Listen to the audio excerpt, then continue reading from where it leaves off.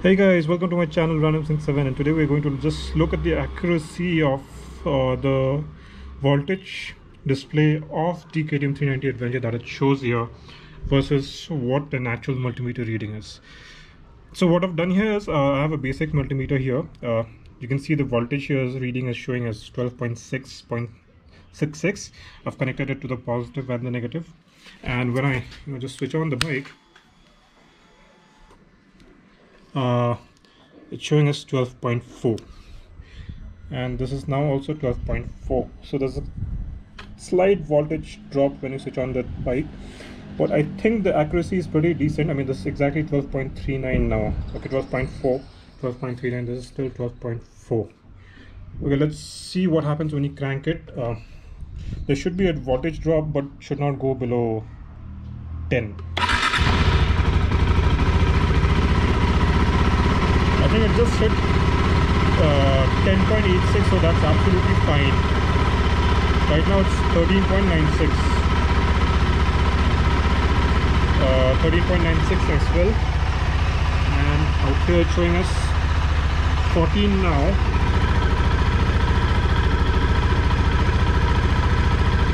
Still 13.98 I think uh, it's rounding up the voltage to 14 here okay it's 14 now 13.99 so let's consider that's 14 so anyway uh, the, the voltage of a voltmeter reading and the display here is pretty accurate I would say. Okay so that's it. Uh, it's pretty accurate I would say. There's been a voltage drop on my bike at least. Uh, ideally it was around 14.6 when the engine started and it is pretty much 12.6 which should be the idle voltage when the engine is not on or when the bike is not even switched on. But it goes down to 12.3 when the engine is switched on and uh, when you start the engine the crank voltage is still above 10 which is good. 10.8 shouldn't go below 10 and right now the starting when the engine is idling the voltage is around 14.1 I mean 14 I would say as per my uh, multimeter reading. But on the dash it's showing as 14 now so it's pretty accurate.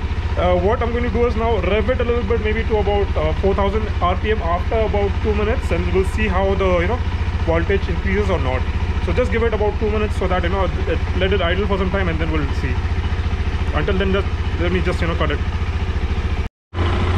Okay so the bike has been running for about 2 minutes now and then we'll now just rev and see if there's any voltage increase. Just around 3000 rpm okay i don't see any voltage increase when uh, revving it up. And my connections are a little loose here now. As you can see there we go. 13.9 is what it is at right now. I don't think it'll go up any higher than that. 13.9 here as well so that's it guys. Uh, so what i the only thing i wanted to check was if the multimeter reading of the battery voltage and the voltage that is the speed here is accurate or not. So it seems to be pretty accurate and you know uh, yeah i mean it's you can probably rely on that. Plus minus one or two volts here and there but that's it. I mean 100 yeah. So that's it guys. If you're liking the content that i'm making please consider subscribing to the channel and share the love. Bye bye